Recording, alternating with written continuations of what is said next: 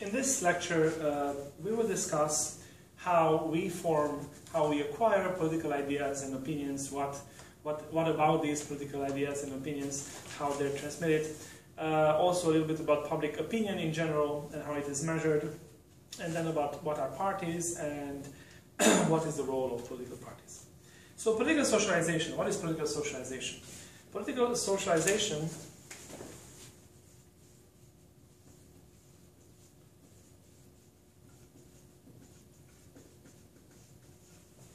is the process through which individuals, you and me, uh, learn the political norms, values, and the institutions of the society of which they are a part. This is the process to which we, under, we start to have ideas and acquire ideas about politics. What you're doing now, by the way, right? Uh, but outside of a formalized way of being taught about this, of, of, of learning about this, how do you acquire? How do you acquire political ideas, notions about what politics is, what politics is supposed to do? Remember our question, what is politics? Um, and the opinions and values about politics, the opinions, beliefs, and values about politics in a society constitute that society's what? Political culture. So political culture is basically the culture of a society related in relation to. So what are the ideas, opinions, values, beliefs that characterize the society regarding politics? Or I, can, uh, I could uh, rephrase it as, what are the expectations um, about politics and what politics is and what politics should do in a society? For example, um, we have a well-defined view of what the government is supposed to do, even if it varies a little bit, but it varies within a very sort of a narrow range. Because are, for us, you know, the idea that, oh, there's a free market or, or there's the state. Well, in many other countries, there is no such conflict because one is, it's not one or the other. And this is just an example, and it's not about right or wrong. This is not the issue at all here in this class. The point is to understand that certain assumptions about what is government, what is supposed to do, is government something bad, some, something good, that's just broadly speaking, right? But there are very many details about what politics is and what is my role in politics and what is, what is, uh, what is the right way to go about and just political ideas about how we should organize ourselves, how we should live together. This differs from country to country. And the Constitution, as I mentioned before, the US Constitution, is based on very specific political culture and it has shaped the US political culture because it is the backbone of laws in, within which you are, you grow up and you, you assume it and you say, well, this is normality. So political culture is basically what is normality for a given society when thinking about politics. And trust me, that's, it differs. And you're say, well, mine is bad. Well, that's what the other guy says as well. Um, so the question is, how do you acquire these opinions and values? Beliefs, right? What are the sources? Because we don't, we call each other individuals nowadays. The Individual is a recent term which has been, was invented about a couple of centuries ago only, didn't exist before. Because before it was called person, right? Individual means that has this sound, right? Individualism, that we are alone, that there is an I that is separated from the world. But that's obviously false, right? Because we are born from from other human beings. Biologically, we cannot be separated. We're connected biologically, socially, and everything we know, everything we are. I gave the example before of the children who are raised by wolves or, you know, Mowgli in the uh, Jungle Book and so on. But there are many cases that happen like that, but they never become human beings. Because without everything we are is acquired. Even if there is a basis that makes that acquiring possible, natural basis, biological basis, we are able to learn, but in order to become fully human beings, as in Aristotle, remember, fully human beings, you need the city, you need society. So everything we are, including political ideas, is are acquired and then processed. Then they are processed. We're not just simple blocks of matter, I would say. So what are these sources through which these these these views, which are you know rarely conscious, it's really that you know you're being set down and told, well, this is how it is, right? In in in, in just life uh, in your family and whatever. You acquire these simply through living. Even if you never think about politics, information is acquired. So what are some of these sources that you all know? Where, where have you acquired your first ideas, first knowledge about politics? Well, I'm sure that many of you will say family. Right? So when you talk about sources of political socialization, so sources through which you become a member of the society, sources through which you become a member of this political culture,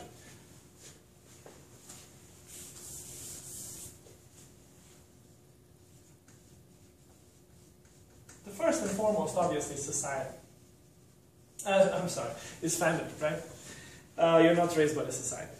Uh, so the family is the first thing, and it can be direct by being told about, you know, well, well, this is how we live, this is the president, and whatever, or it can be part of the way you live, simply the way you live. So certain things of certain behaviors are acquired, certain respect for the for the freedom of the other, or not the respect, or an authoritarian view, right? Or just the way in which. So that's an, a way of life in the family through which the child actually learns most, uh, most things.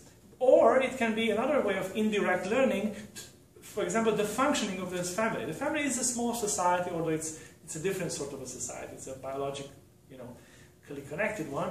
Um, so, but the relationships in the family can also teach you things about authority or freedom or limits or law or rules, right? Uh, which, which will shape how you view the world and that will shape how you view politics. Is, is, you know, again, philosophy is not something remote, it is basically your ideas about the world. That's philosophy, right? Only that more rationally developed, more well-examined uh, sets of such ideas are actual philosophy, uh, like Plato's and so on, and in many cases it's just we pick uh, pieces from as we go on. Um, but it is your idea about the world that shapes how what you think about politics. So what's another source? School, of course.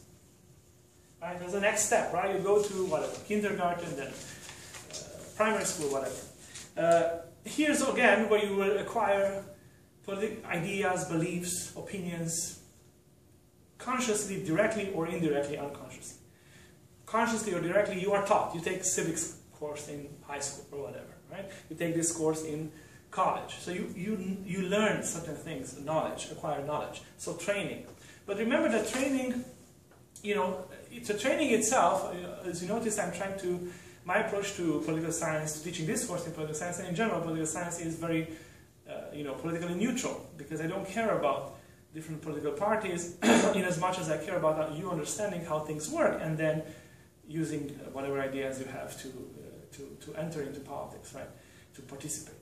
Uh, but that's not always the case. In France, for example, uh, this was, as I mentioned, this was one of the main one of the main tools of creating the French na nationhood, the French nationality, was was the school system because it was run by the state in the 19th century, and this is where people were taught that there is a France, that here's the French history, and you're French. And people who didn't really speak French, actually, because uh, uh, they came from various regions, were taught the official version of the language. You know, this is how the French nation was shaped by the state, by the state. We talked about this. But so textbooks that you get to, to study in school um, are another way of um, you know, learning. So sometimes this learning can be directed. In communism, in totalitarian societies, you will have specific teaching. You know, the leader is the best, and communism is the best, and whatever. Even here, right? you pledge allegiance to the flag? But that's, that's education. That tells you that this is, these are the values. So you are taught things. They are not indoctrinated, taught. Right? You are taught because this is part of socialization. You're part of the society. But all other things that are indirect, unconscious, can also shape your view of politics. For example, the type of the methods uh, of, of teaching, of the relationship between teacher and student and pupil. In many Asian countries, I we know that uh, there is a much more um, directive method of teaching in the sense of the students just sitting in the, sit in, the, uh, uh, in, the, their, in their chairs and uh, there's this, they don't say anything basically. There's no communication. It's not a, it's not a communicate, communication based, but it's more like just telling them as it is and so on. Um, so that, it is a reflection of relationships in society where authority, relationships and so on, but it can also shape the relationships in the society. So that can be a reflection of society, but also creates uh, you know, members of the society that uh, work according to those norms. You know, figures of authority. Authority is very respected in Japan, right? You know, uh, all these things. Or another way to be schooled in politics, so to speak, is by uh, taking part in different uh, structures within the school that are political, so to speak. For example, you're part of the school uh, board or uh, college Republicans or college Democrats and whatever. So you start acquiring the skills of politics. And if you remember from all the president's men, well, where did many of these people whom Nixon hired, hired where do they, did they get their training, right? They got their training by doing the same uh, uh, sabotage tactics in college when they were in the college Republicans. It was. School is another one. Peers. So the age group, and this is mostly unconscious, but not necessary. So, for example, most people, few people are politically active or aware and actively seek out political information and, and document themselves. most people acquire um, this information secondhand. So you have the, the opinion shapers, right, who are political agents in a way because or agents of political socialization because they transmit information and there are many other people who learn from them. So your book calls them, you know, one step and two step uh, removed from, you know, political information.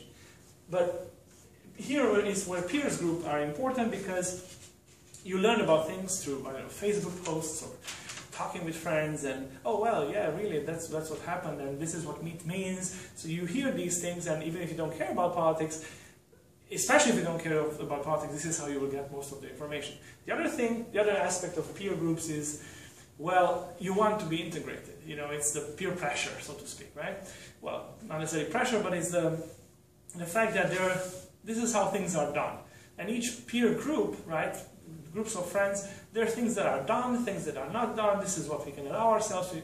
So there's a way of life. And that way of life, just like in the family or, or elsewhere, shapes you tells you about what's right and wrong. And some uh, instances, and your book gives some interesting uh, examples of political radicalization, terrorist groups, terrorist cells, so to speak, that are not really cells because they're not connected with anyone, but a bunch of guys, really a bunch of guys, hanging out and kind of radicalizing each other, talking uh, nonsense, but kind of that creates a thing, well, let's do this, let's do that, and so on. And that creates, that leads to some, uh, some, some extreme acts. And, you know, this is documented. Then we have the broader culture, and culture that can be high and low. Right? Meaning, culture in the sense of whatever comes through all the means of communication, uh, entertainment, uh, movies. In movies, it's very, there are very clear messages of what's right, what's wrong, and so on, and what is politics, and this and that, and what should be done, and so on. And most people just again, acquire these things because, well, this is how it's done.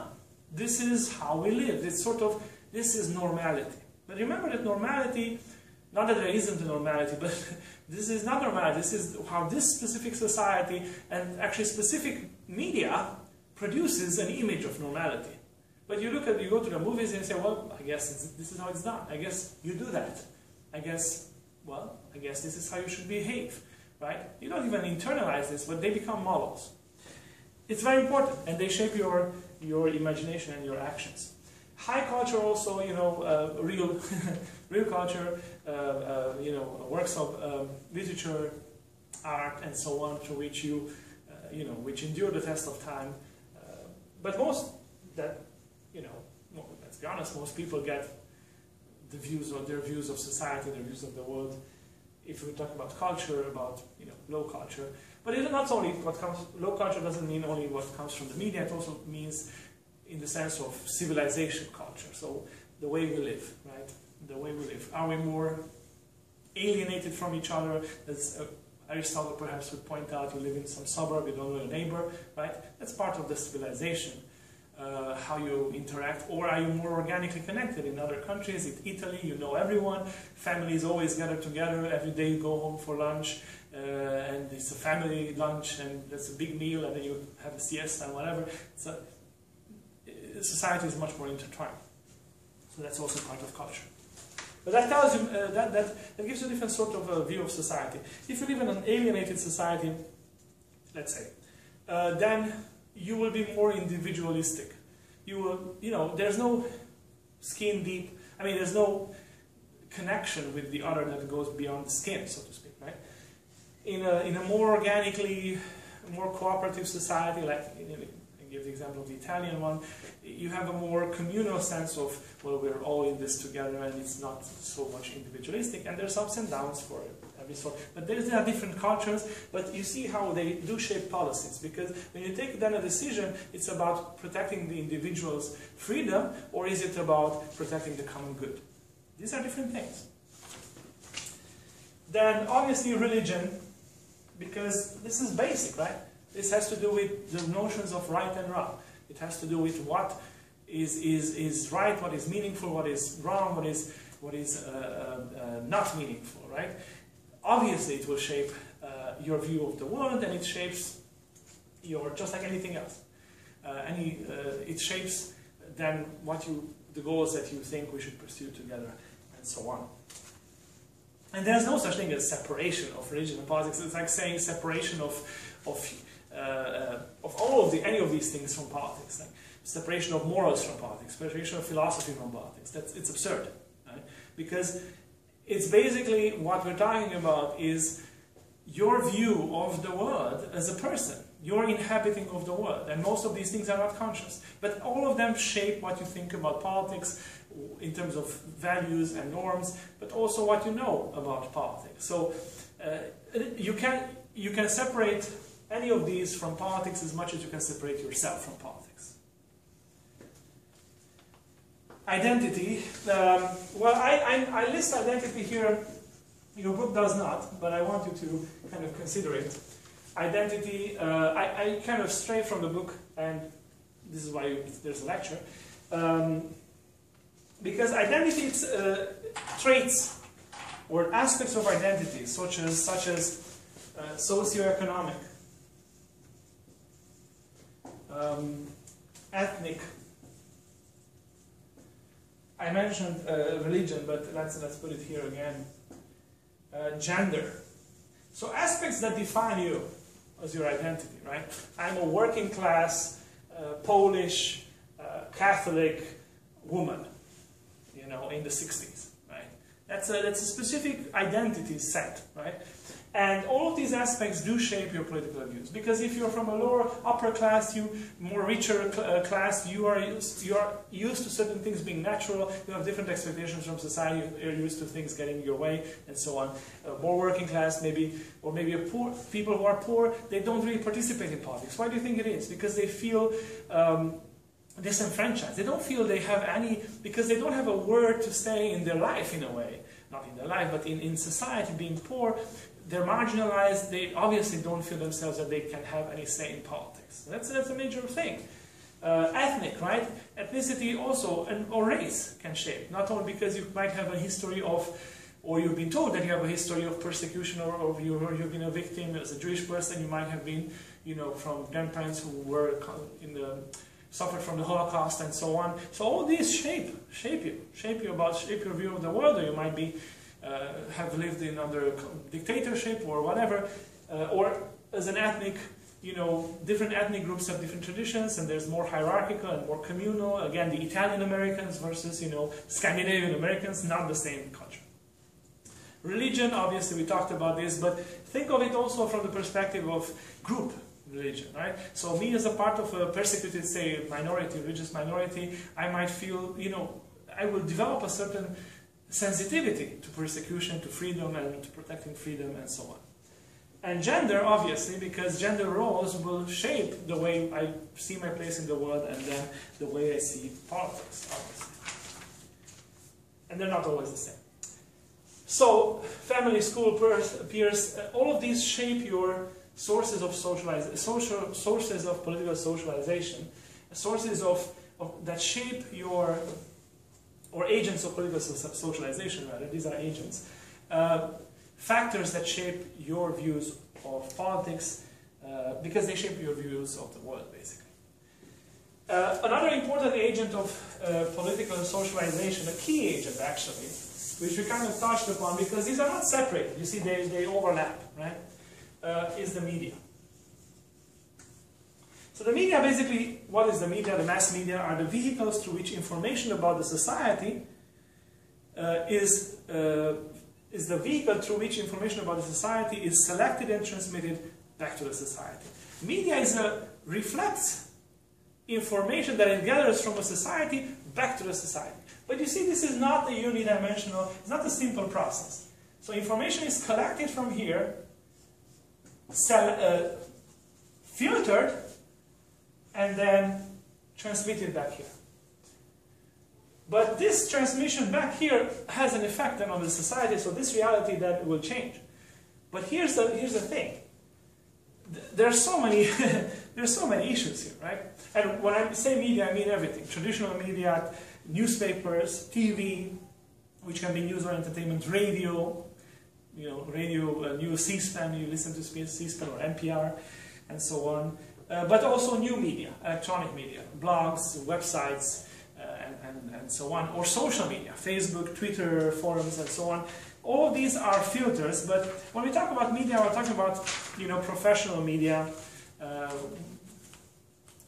that, that has the role, journalism, right, that has the role of delivering information. And you're reading All the President's Men, and that's about the role of the media in a democracy. But here's the thing. Um, here's the key thing. This is not a unidimensional uh, process, because you, notice this, this process. So you're collecting information, let's say this agent of the media, right? but which information are you collecting? Because the media reports, and most of what you know about the world comes from the, let's say, news sources. But think about the fact that in the US there has been a huge uh, uh, building down, mean, a huge um, undoing of the media and journalistic life, because today there are only a few major news agencies. So what this means, actually, it means that most of the, the information you know the world comes from very few sources. There are only a few world news agencies, Reuters and, and uh, Agence France Presse and whatever. So what gets to you actually, except for what your cousins writes about your, your aunt and so on, what gets to you as news, let's say it's international, it comes from a few sources. I mean, newspapers, let's say your, your uh, Seattle Times. I don't know exactly about Seattle Times, but let's say Seattle Times. Do you think Seattle Times has its own guy in Taipei? or Hong Kong or Tashkent or Moscow, maybe in Moscow, but maybe you know in Mongolia. So where do you, how do you get to know those things? Because there are these international news agencies that collect that information and then sell it. So these individual news outlets, even the big ones like Seattle Times, they buy that information. But it means that it comes from one source. Well, but each source, each media agent, right? And this is the, the, the problem of agenda setting. The problem is that each individual media source selects which information it collects, then selects how it presents it.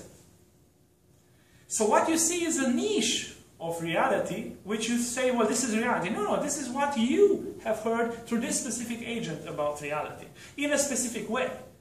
Because no information is simply delivered, although that's the ideal of journalism in a way, but especially in an era of partisanship as we have today in the United States, it is also interpreted. So not, not only do you get a part of information that is interpreted, let's, let's make a simple comparison. Go on BBC uh, News, go to BBC News. I think it's news.bbc.co.uk, but go to BBC News and go to the international section and read the news that are listed there. Go to Washington Post, go to the international section and read the news that are listed there. And you see that, the, or listen to BBC versus listening to whatever uh, news station uh, here. The problem is that there's very little international news that gets is reported here. While BBC, which is an English channel, right, an English media agent, it has a much wider world uh, uh, opening. And actually, if you go in many countries, you see that there's much more international news that we get here. What we get is kind of a small news about something big you know, there's a volcano erupting or some catastrophe. You know, usually it's extraordinary, right? But you see, and you're saying, well, this is reality. This is what really happens. No, it is how the media portrays it. Recently, another example, recently there was this deranged person who staged an attack on the parliament in Ottawa in Canada, right? A few days ago, a few weeks ago, a couple of weeks, I think, right? And how different it was, because in the news media, in the US news media, it was, the emphasis was terrorists, terrorists, and this is the 9-11 of Canada. Well, the Canadians who actually suffered the attack did not portray the events as such. If you went to the uh, Canadian uh, media pages and so on, it was, well, the range person, he has problems, uh, documented psychological problems and so on. And there was this case where this uh, American news lady went to the these members of the Canadian Parliament, I think, and she kept pushing them to, to talk about, oh, this terrorist, and they, no, no, they, no, no, it's a problem with a uh, person with psychological problems. No, no, but terrorists, no, no, no, it's just, you know. And she was getting frustrated because her interpretation did not match their interpretation. It's just an example, and I'm not saying one was right or the other one was wrong because he turns out to have been have psychological problems and you know an ideological motivation. So you know both can coexist you know easily. Uh, no one said that the terrorist is sane or could be sane, right? Um, the point is that the agenda setting, meaning the selection of information about the world, is done by certain agents. And different sources will give you different information. It doesn't mean that, oh, you're not seeing the truth or reality. No, but it's, it's a fact of life. If I ask, if you ask 10 people about the same event that they have witnessed, they will have 10, 10 uh, perspectives. Not that it's not true, that there is no truth, but it is conveyed by human agents. That's all. You know, they're all true, but different aspects of it, right? Some of them be lying, right? And so on. So that's very important, agenda setting. That information is selected and then interpreted. And uh, here's, um, which is why, you know, for example, if you have on a political show, always two guys, or well, two guys in the sense of two persons, and one is the Republican one is the Democrat in the US, right? There is this feeling that there's always two sides. But of course there aren't only two sides to the issue. Because if you go to France, you will have five people because there are five major parties. You go to Germany again, four or five major parties, you have four or five people with four or five different aspects. Right? If it's a political issue, of course. Right? So there's not such a thing that there's only this and that. But you see how the, how the choices of interpretation of the media, where you have to have a guy from each camp as if there are two camps. There aren't two, two camps. There are five, six, seven, eight, nine, a hundred, one million. Right? You just don't, this is a simplification. But it, it carries over and then you assume that this is how it shapes your political culture because you assume you have there are two choices. And when we talk about political systems, electoral systems, and ideologies, you'll see how how actually there aren't two. There is no such thing as two choices.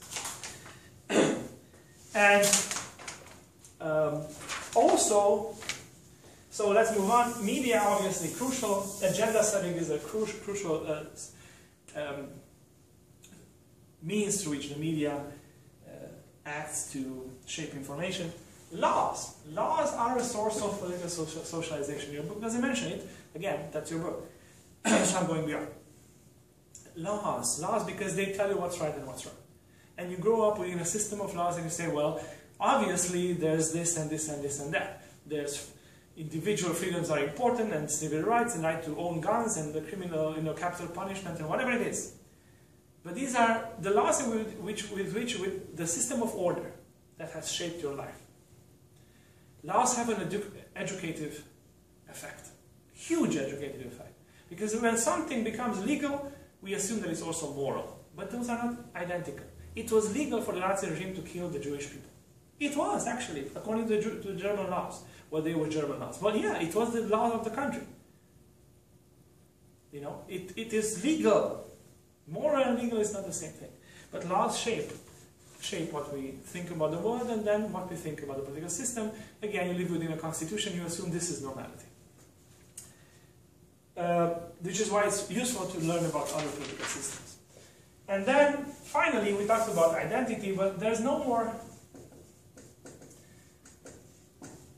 I mean, all the strongest factors on shaping views of the world are major events events that maybe traumatize you, events that maybe shape you, events, events in which you have taken part. Let's say you were visiting uh, Cairo a couple of years ago and you happened to be there in early, what was it, 2012, and um, well, you were there the uprising that removed uh, Hosni Mubarak, the Arab Spring. Well, even if you're just a tourist, but you're caught up in the event and you see people dying on the streets next to you, and you see heroism of young people, and then you see brutality, that will shape you. That will shape you. Maybe you grew up uh, in, oppressed in a whatever society, maybe as a, uh, a black person in uh, South Africa during apartheid, that will shape you. Right? Or just a major 9-11. 9-11 will, you know, will be a determining moment if you were, you know, old enough, if you were, maybe you were in New York, I mean, that will shape what you think about the world, and that's therefore what you think about.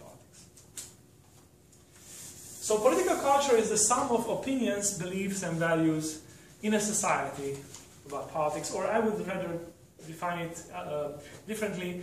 Uh, political culture is basically the sum of expectations about what, uh, and assumptions, so expectations and assumptions about what politics is and what politics should do. Now, public opinion is sort of a, a snippet of political culture. Public opinion is uh, an insight into what the people think at a certain point. So the public opinion is the attitudes of many people which are collected, aggregated, and summarized or interpreted. So the attitudes of a group of people, of a large group of people, who are collected, put together, aggregated, and then summarized or interpreted. And how do we do this? So public opinion,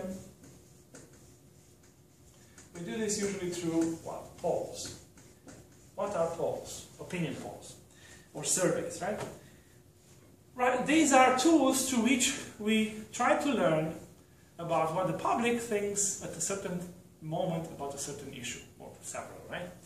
So uh, it's basically public opinion polls are questions asked from a certain number of people in order, uh, which are meant to represent the, the public's view or position on certain issues at a certain moment.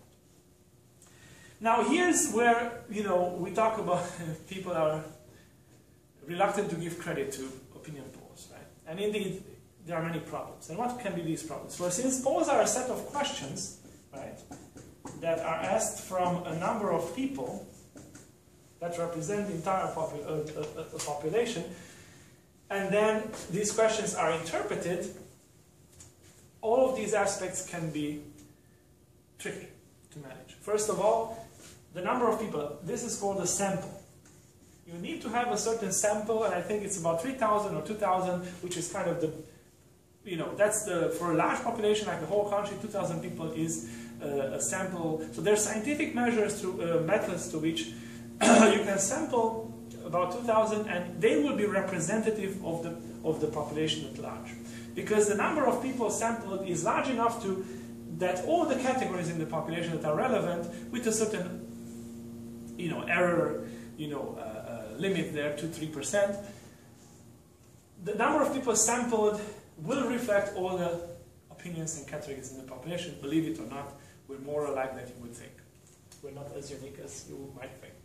So the sampling is a question. So, for example, if a, if an if a opinion poll is done by a website or you know, and it's voluntary, which means whoever visits my website should ask, uh, should respond to this question. That's not a scientific sample because that's already a sampled part of the population. It's those people who visit your website and they visit it for specific reasons. You already selected your viewers, and guess what? They're going to agree with you, right? So when you have a party who said, who on their website say, well, all of you who visit my website our website should answer these questions. So clearly, though, who visits that party's website? Right? Mostly their supporters and so on. So sampling is an issue. Then the questions, right? How they're phrased, right? Because questions can be leading, they can be neutral, they can give you choices. So if you ask the question, is it, isn't it true that President whichever is fantastic, right? well, that's a, that's a question, that is kind of a leading question. But so the questions, the, the way to phrase the questions to be not, to not be leading but neutral is another thing. Then you have interpretation and how many questions you have. Right? Then you have interpretation. What do these questions, how do you interpret these things? And you can be of course, biased, but you know, serious op opinion pollsters will not. Will try to be, you know, just like any person that wants to do their job well, will try to do this correctly and neutral. But um, the, the, matter of interpretation is not necessarily always a, a problem of, oh, you want to distort interpretation. No. Really, they have answered this in a specific way. But why they answered in a specific way, that's a different question. You answer that, oh, we don't like President whichever, Obama or Bush or Clinton, doesn't matter. But why? You can ask certain questions asking them why. But the question is if you, the problem is that it's harder to make the connection from the from their answers to the motivations, right? So there's there's all these issues, but you know, good opinion pollsters will give you a good snippet of uh, public opinion, which is what, which is basically opinion. Public opinion is a reflection of the political uh, of the of the state of the political culture regarding specific issues at a certain moment. Obviously, in democracy, public opinion is very important because in a democracy, your mandate comes from where? The people, at least theoretically. So, both through elections, but also you assume that you represent the people. So when you have cases like now in the US where Congress has a very low approval, but the president also has a low approval, then that kind of diminishes your authority. Because in democracy, you assume that you represent the people. This is why direct election of any institution is the strongest source of power. This is why the if the president is directly elected, then clearly he will be more than just the ceremonial head of state. Because the, then he represents the people. He has this popular mandate. So public opinion is crucial because, and this is why it's continuously measured, because it gives you the, the sense of how uh, legitimate the current rulers are, the current government. And since many of these people in, in power will want to be in power after the next election as well, uh, they will try to adjust to their position because it depends on public opinion. Good. so talk about political uh, socialization and then public opinion takes us to political parties. What are parties? Is it a good word or a bad word? Well, the simplest definition of a party is that it's a group of, it's a group that tries to obtain power. That's about it. That's a party. By obtaining seats in the government. So that's a party is basically a group of people that try to obtain power. Right? And, so it's an institution. It has common goals, but most goals are towards obtaining power in a political system. That's the, that's the point of having a party. Why? Well, right, in a democracy, we talked about the fact that the idea of representation is key. The idea of representation is the guarantee of democracy, right? Democracy means what? The rule of the people over themselves. But they don't rule over themselves. You don't get to pass laws. I don't get to pass laws. We send representatives to pass laws. Meaning, send representatives to what? Represent our ideas and then battle it out according to certain rules and then pass the rules that will govern our lives, the laws that will govern our lives. What are political parties in this in this process. Political parties play a huge role because these are the vehicles through which different opinions in the population are channeled into these institutions of representation. You elect certain people, you elect certain parties, no matter for which institution, because you think they represent you. You choose between different, very different choices, right? Which say, I stand for this, I stand for this, I stand for this. You choose the one that most fits you for certain reason. Right? Most fits your goals, your political culture, your beliefs about politics and so on. Parties are these vehicles that collect all the people who kind of fit a, a, a common mold and they're the channels through which these, this representation happens. They're crucial.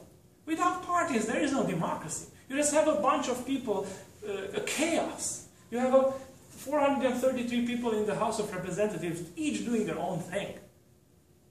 There's no, there's no coherence. You just have a bunch of people. There's no, never, there will never be a law passed when 435 people are individual, you know, act actors doing whatever they, they want.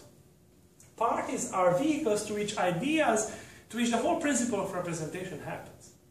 They're crucial agents for, for, uh, and you're, for uh, democracy. And you're saying, well, yeah, but they want power. Well, what else would they want? Because the whole idea of democracy is that we send representatives to govern ourselves. Power. We want to give them power because they represent us. That's what you want. You want them to get into power. And usually you do want, because it's why you vote for the guy. You want the, your guy to get there. Right? Why? Because you think he represents or she represents you. Yeah, you want them to have power. That's the whole idea of government, right? We want ourselves to rule ourselves, but since we don't have time or don't have the mood to become a politician, to be involved in, in this as a profession, I choose a guy to do this, or a woman, right? That's, that's, so parties are crucial. So let's, let's talk a little bit about the functions of parties, because they perform, or, or several aspects of, these, of this, this function. So first of all, what are parties? So these are functions that, or roles that they play. They are a crucial link between the public and the political system. They are, they are your linchpin with the political system. You call your representative, right, when something is wrong. They connect the population with the system. So a link between the public and the political system. Two, they are idea brokers.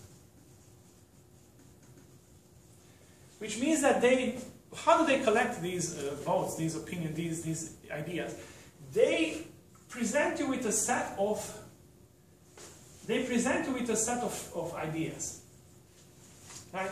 Let's say you're in, in Germany, Christian Democratic, Social Democratic Party, Free Democrats, uh, the left party and the Greens, five parties. I don't want to give the American example because it's just too, too close to us. Five different parties, right? Five different parties, and there are others, but these are the major ones. Which means that each of them comes to you and says, this is how we should live.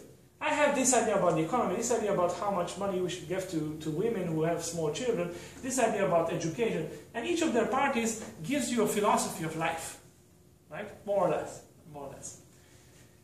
So they give you a set of ideas and it's easier to subscribe to these things. They collect ideas and they say, well, this is coherent. Well, if you look closely, it's not coherent. No party has a coherent platform. No, not one. Not one. Because it's part of the political uh, game to, well, of the political life to uh, then define a platform that is not like the others. And then you will sometimes sign up to things that has nothing to do with the rest of your platform that's a different discussion, we're going to get there. But the point is that they are idea brokers. They collect ideas and they present them to you, or you think they present them to you. So actually, you know, they're the agents to which we talk about representation, that different beliefs or opinions or ideas are represented in the legislature. Um, this being the legislature, right, this is the, the people, the, the country. Uh, these different ideas are represented here.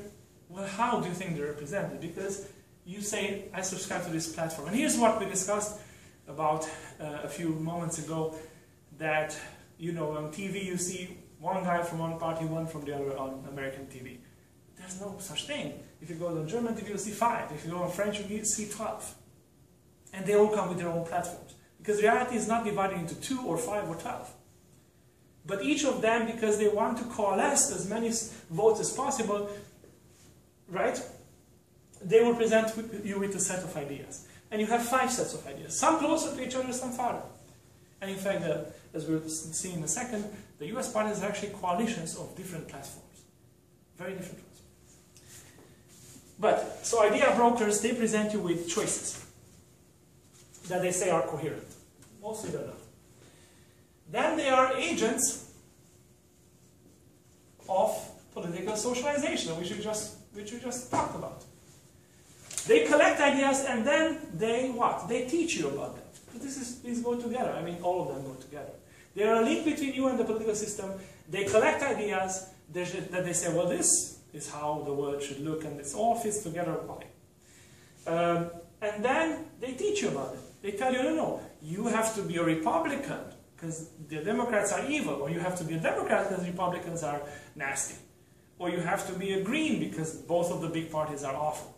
Here in a two-party system, but most parties, most countries, most political systems are not two parties, are five or ten or whatever. So there you have different, but still you have each party telling you that this makes sense.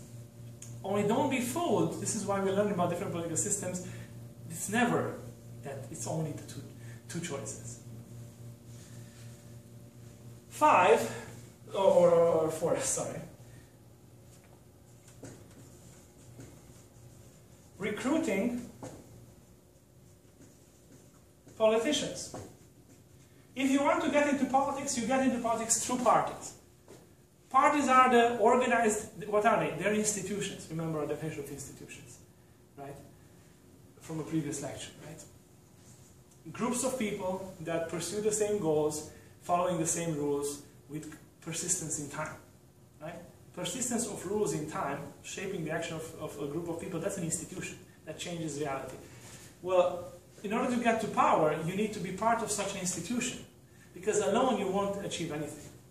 No matter in which position you're put, alone, in any political system, in any reality, in any human reality, you're never going to achieve anything. You always have to work with a bunch of people together, and parties make that real. So, in order to get to politics, vehicles, links, in order to get to politics, this is how you happen. Because parties are institutions that co-opt you and say, yeah, enter into this world. Five, and also related obviously, is coordination of government. Now here's, here's our typical view of a political system, right? Let's say, let's, let's, it's perfect because we can look at both the UK and the US. So say this is the, this is the U US. In the US you have a lower house, an upper house, separately elected, a president, that's the executive. And each of these, these houses are elected separately, and the president separately. Which means that you can have a party which, which has the majority here, and that's X, a party that has the majority here, and that's Y, and the president from party Y. Right?